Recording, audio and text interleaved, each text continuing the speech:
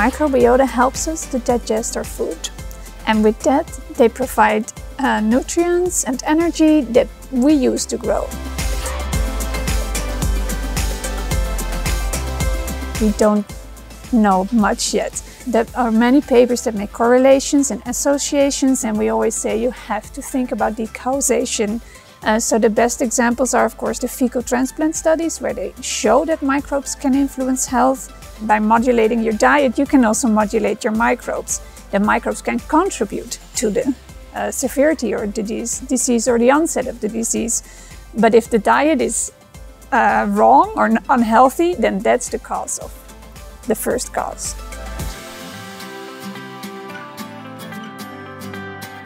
Measuring microbiota is easy, it's not invasive, taking a sample is really easy, and also modulating it through diet is also very easy. There's no medication, it's just usually it's fibers or you know or probiotics, and it can be very personalized because just giving everybody the same diet, it probably won't work and the success rate will be lower.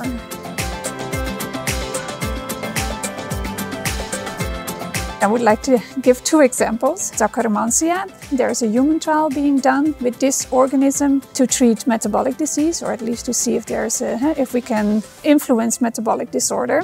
And my other example will be, my group also works a lot on early life microbiota.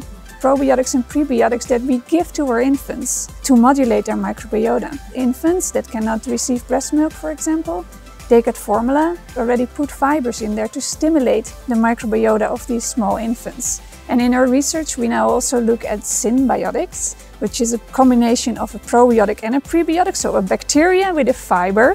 And if you put them both in a diet, then actually you might have a better effect even to modulate the microbiota and health.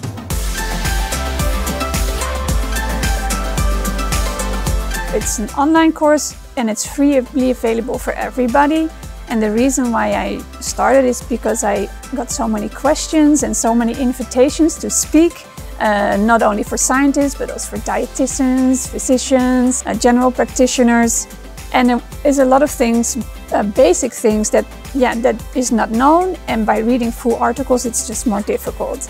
And I already give a course at my university about the human microbiome, so I thought, why not put it in this online platform? Uh, it went online in January and we now have over 8,500 learners and they come from 150 different countries. So really around the world.